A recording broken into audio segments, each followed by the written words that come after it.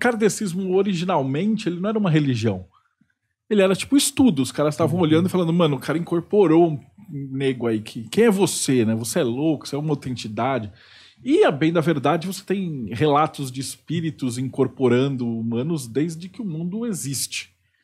Você tem, a, de, desde a Grécia, né, na própria Odisseia, o, o Ulisses ele vai, ele, ele mata os, os frangos, faz um despacho da encruzilhada para falar com as sombras e tal. Você tem várias histórias. Então eu acho que esse é um fenômeno que sempre teve na humanidade. O mundo espiritual é que existe. E o ser humano está tentando encontrar jeitos de falar com esse mundo, né? E o Kardec fez essa parada.